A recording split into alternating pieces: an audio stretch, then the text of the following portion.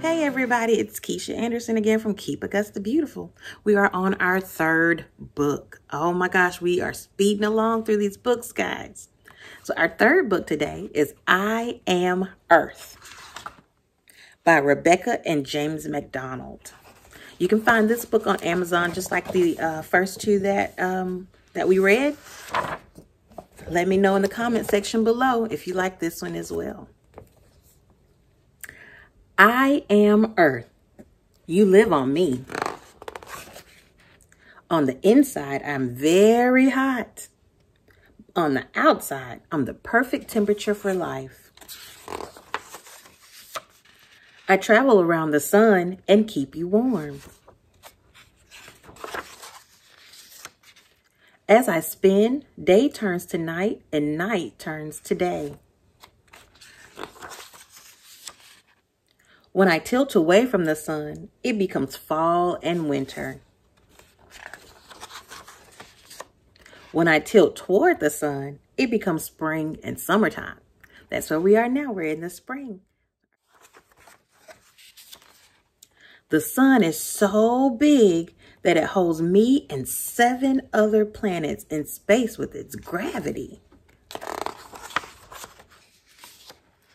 Together with moons, comets, asteroids, and other space objects, we make a solar system.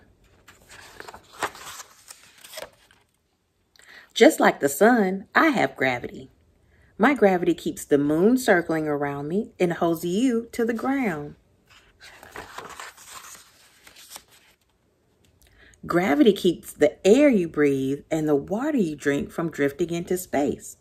Without gravity, things would just float away.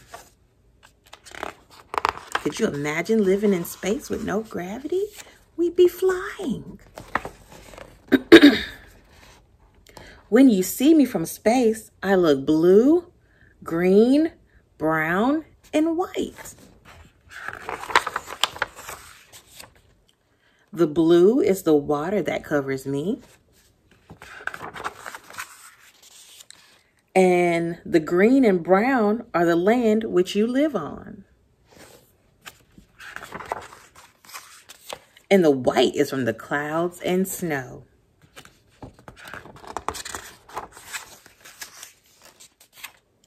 Clouds drop water on the land below and when it gets cold, the clouds drop snowflakes, dusting everything white.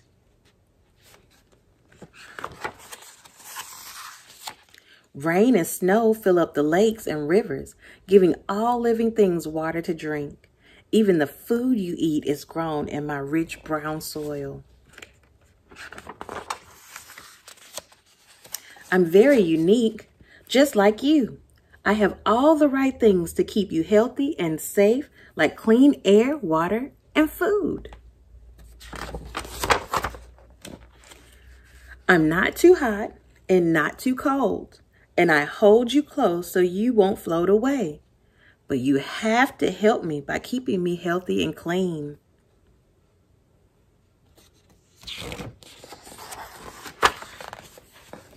Because if I get sick, the air gets sick and the water gets sick and the ground gets sick. And that's not good for anyone.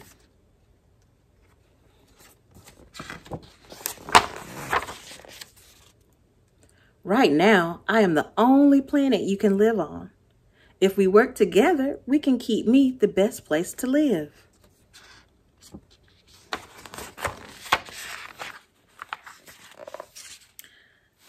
Here are some things you can do to help the earth be the best it can be. We can recycle. Find out what can be recycled and start recycling. Check our website. We have a list of things on there for you. Don't litter. Put garbage in the garbage cans. Reuse things.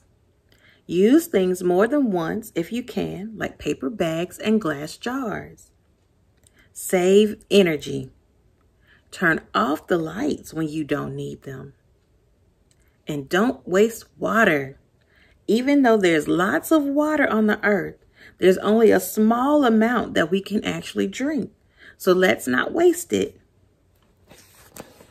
Can you think of other ways to help the earth stay happy? healthy, and remember to tell all your family and friends so they can help too. Good job. So there's a bunch of other books in this series as well. These also can be found on Amazon or anywhere you buy um, your favorite books. See you next time for Recycling Reading Corner. This has been I Am Earth by Rebecca and James McDonald. Bye, guys.